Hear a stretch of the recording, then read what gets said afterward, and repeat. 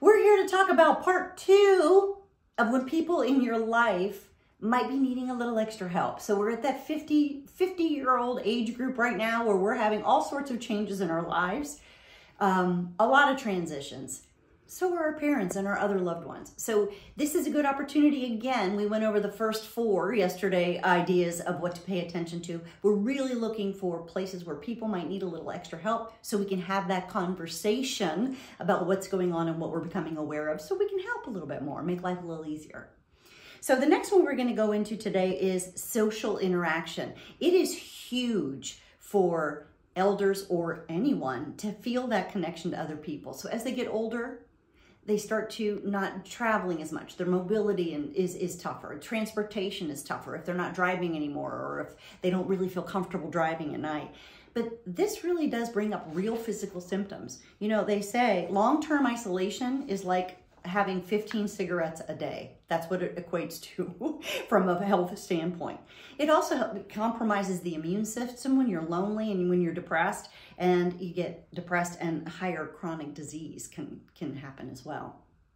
So I want you to notice changes in sleep pattern, energy levels, and loss of interest in things and people and family events and things that they used to love or really hold dear that might really give you an idea that they need more interaction. They need more connection. And there are ways to do that. There's resources in the, the city has resources, maybe the church, and maybe you can help them figure out some resources. We can talk more about that. One of the things I notice a lot is notice how they're coming, how they're acting and interacting with their doctor's appointments and their PT appointments. Because when they start missing those, they're depressed. They're often very depressed because they're like, more of this. That brings us into part two, which is healthcare. So I don't know about you, but even me right now, when I go to the doctor, I would love somebody else there with me to take notes to make sure that I got it right. It's good to have at this point someone uh, that's a healthcare surrogate that can not only make sure that your wishes are going to be followed out long term if something happens. Sometimes things happen very quickly, and you want to make sure that your person has somebody on deck that knows exactly what they want and how they want that handled. Right? I mean, I do. They also want to be able to navigate their doctor's appointments, and they might need a little assistance with that too.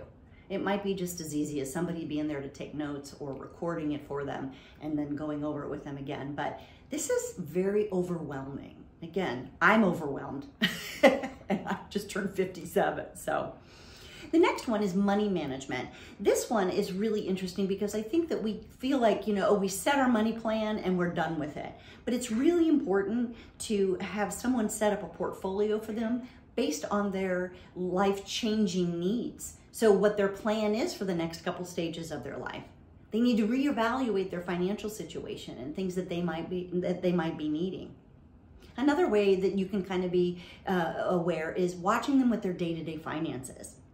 So sometimes, you know, especially if it's technology that they're not very good at, you know, bills start to miss getting paid. Um, they complain about money all the time. Things are too much. Everything's too much. Or, you know, they're buying weird things you know, that, that you're like, where, why are you buying this? What, what, what is this coming from? So there's a lot of confusion around this area for them. And sometimes they just let it go. You might see bills piling up um, and their spending habits changing. Check and see too if there's an increase in their spending. We talked about that because that leads into our next area, which is scams and fraud. So sometimes this is something that comes up for elders. In fact, I think it always comes up. I get them all the time and I have a hard time differentiating between them sometimes. So I think the big things is to remind your person what to listen for and look for and to keep having the conversation. Because I know, I know these things and sometimes I'll be in a situation and go, wait a minute, this doesn't seem quite right. You know, you might be reminding them that, you know, if there's someone from a bank or a social security officer reaching out to them, it's a scam.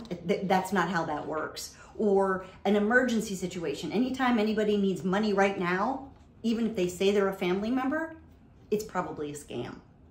So help them be confident and, and supported and feeling not, not like they're stupid. This is a huge thing I hear from people is they feel so stupid because they fell for that or they did this. But the truth is these people are designed to make them feel that way so that they'll give them the money. And again, let them know, hey, this isn't, this isn't me preaching to you. I have to go through the same thing. The other thing is physical safety. So older people are a lot more prone to slips and falls, forgetting to lock their doors, things like that. So you really want to pay attention to lots of clutter like on the stairs, making sure that the bathrooms, like the little rugs in the bathrooms aren't loose. Um, check and make sure that they're okay in their shower and tub. So these are just the beginnings of the little things that we want to maybe help them with that could cause them to fall. And a fall, a fall when you're older is not a good thing, right? So it can lead to a lot of other things. You might help invest in some technology where you can check in on them more or that makes life easier for them so that they don't have to do things. But basic safety is a big thing. Basic safety can keep them happy and healthy for a very long time. So these are just some ideas and some extra things to keep in mind for where they just might need a little more help. Um, and we want to be able to make them feel comfortable asking for that. I'm here as a resource for you. If we need help, we'll figure out what they need. We'll figure out what you need because this is going to be a lot for you too as you age and you go through this, but is also when you're trying to look out for someone else in this. But my biggest thing to say is the hardest thing that people do is eh, that have with this is talking about it. Start the conversation. Just start having the conversation. Even if it doesn't go well, it's more about what you're aware of and asking them questions and how they feel. So we got this 50 plus thing. We can do this and I'm here to help you. I'm here to help you connect your life, transi life transitions with your real estate ventures and just really be a good resource for you. Thank you so much.